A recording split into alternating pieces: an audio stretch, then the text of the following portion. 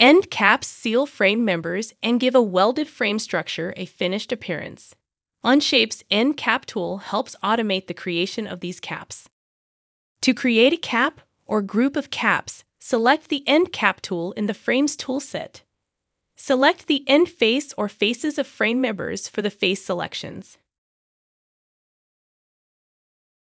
Choose to match the shape of the end cap to the profile of the frame member, or choose a rectangular or circular shape. The end cap may also be internal to the frame member. Define a value for the thickness. This thickness can be extended beyond the frame member or flipped to maintain the frame dimensions. While it may appear the end cap is overlapping the frame member, the member is automatically trimmed to accommodate the end cap.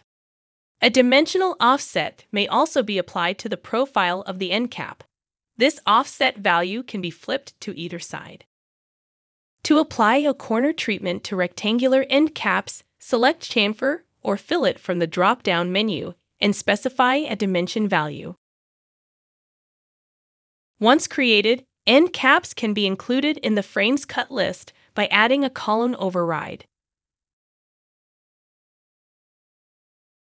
Select the end caps and enter the column to be modified, along with the cell value. Other columns may be overridden as needed. By automating the creation of end caps, Onshape makes it faster and easier to design structures composed of frame members.